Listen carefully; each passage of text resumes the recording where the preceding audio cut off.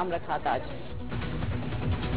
सुल्तानगंज में भारत के लोह पुरुष सरदार वल्लभ भाई पटेल की जयंती पर रन फॉर यूनिटी का आयोजन किया गया, जिसका उद्देश्य बच्चों को राष्ट्र एकता का महत्व बताना और देश की आज़ादी में सरदार पटेल की अतुलनीय भूमिका से अवगत कराना था। इस अवसर पर बच्चों ने देश की अखंडता और एकता को बनाए रखने का संकल्प लिया और बड़े उत्साह के साथ एकता के नारे लगाते हुए दौड़ में शामिल हुए